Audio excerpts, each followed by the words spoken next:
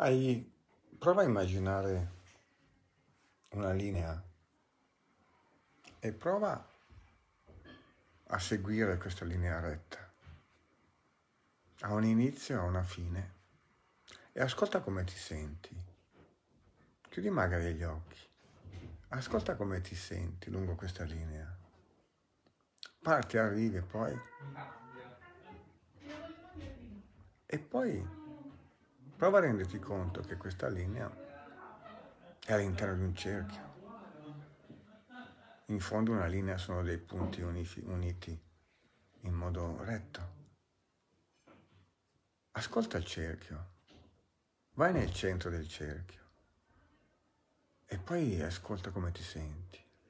E poi muoviti dal cerchio verso la circonferenza, muoviti nella circonferenza. E poi torna al centro e ascolta come ti senti. E poi guarda la vastità e la ricchezza di ogni punto di questo cerchio. Questa è una metafora per dire come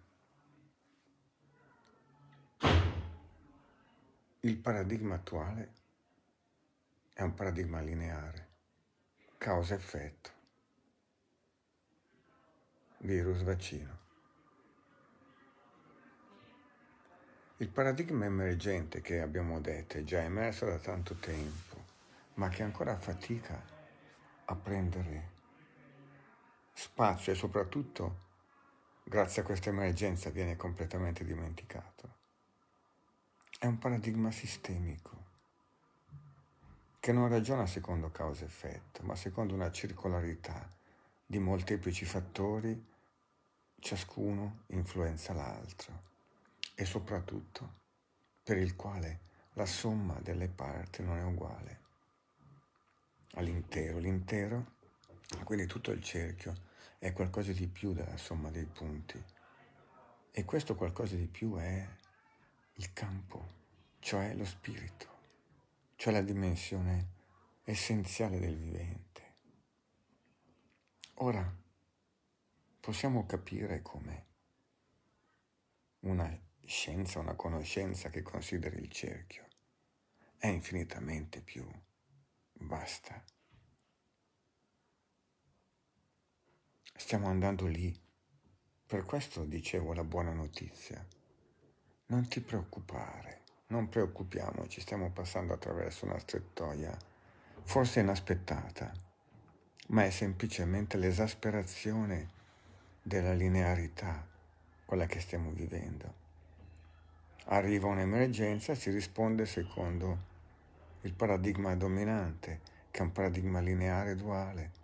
Non potrebbe che essere così, quindi diventa più evidente, ci prende, prende più spazio, diventa più opprimente.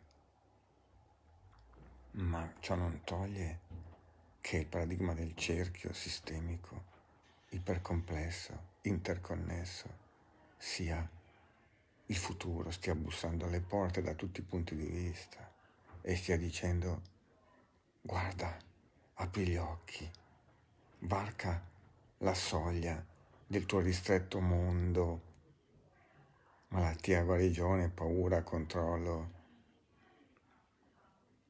medicina per risolvere il problema varca la soglia e accorgiti che sta già succedendo. Sei già immerso nella circolarità sistemica, sei già immerso nella dimensione spirituale. Accorgiti, non facciamoci traviare dalla manifestazione esteriore di questa esasperazione duale che sta dilagando. Lasciamo che sia guidarci il cerchio l'interconnessione, la fratellanza, siamo tutti fratelli, mite coiasi, tutto è interconnesso. La visione cosiddetta olistica, cioè integrale, non è un vezzo New Age, ma ti dice guarda che il tutto è di più della somma delle parti, quindi non lo puoi cogliere con una linearità.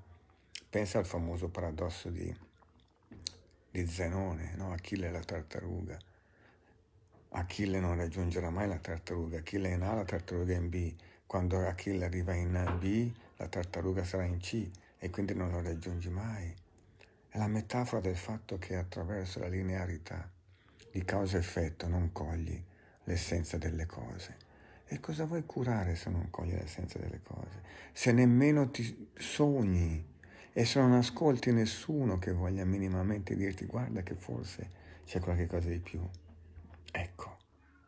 Questo puoi fare, tu che ti senti in minoranza, tu che ti senti circondato, questo puoi fare. Porta il tuo messaggio di circolarità e di interconnessione. Guarda la rete della molteplicità, dell'ipercomplessità e parla quel linguaggio, conoscilo, informati. Questo è quello che possiamo fare.